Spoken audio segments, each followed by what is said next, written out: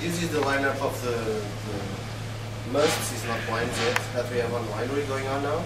Uh, we put them in order from the driest to the one that have the most, uh, the highest sugar level, so that it they didn't uh, Yeah. fool you on the mouth, okay? sure. Because the sugar always show a big thing, uh, lots of volume and everything, but it's not that true. And then we have here three whites that are already done, meaning alcoholic fermentation. Uh, so they are here. Uh, the Semio actually finished it yesterday, so it's just been wrecked today. So it's maybe a bit confused. It's far away from being the final product, but we'll tell you already what can it be, what, what can it show. Should I use that as a splitting? Yeah, it's the split. You can pick up another one there. If I try the Antal That one is the opposite. That is must. That is Oh, that's starting. must, Yeah. So the two, those two are dry. that Strawberry is dry, starting. sweeter, that end. Yeah. And the other one is Verdelho. Semio, we wanted to make it a bit more full body because it's not so rich on flavors. It's not his best part.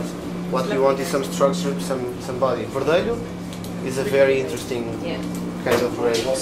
Fresh, with nice acidity, and very, very aromatic.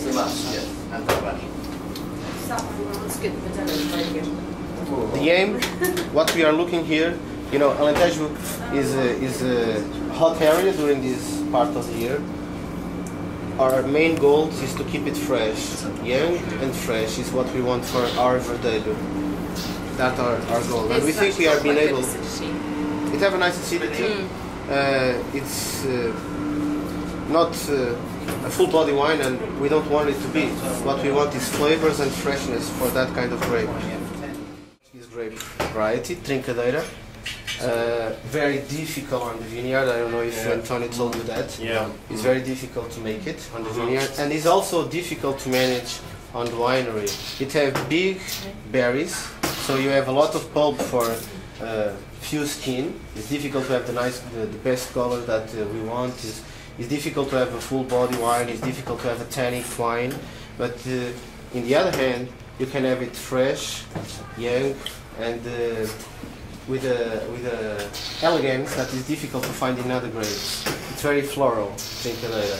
The problem is to pick it once again, to mm. pick it in the correct time, mm. because it's very difficult on the vineyard. This one, it have a slower maturation mm. with big berries. If a rain comes in the last phase of the cycle, they will just explode, uh, Yeah. and Yeah. everything is ruined. So. Thin uh, skin. This is a difficult one on the field and on the winery because then we need to extract enough color, but we don't want to extract greenness and Yeah. hard tannin. So it's a difficult wine to make, and we are not able to do it every year because Yeah. not every year Yeah. allowed us to do it. This year, I think we have accomplished to do it.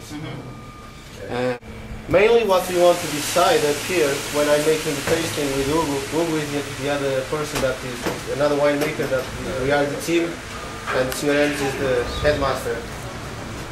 What we are aiming is in the first group, we are trying to find if they need to be helped, some correction, more more oxygen going in because they are a bit reduced or not, uh, to uh, increase the temperature or not, to make a, a bigger extraction. If we have to bring tannins or not, we are able to do that.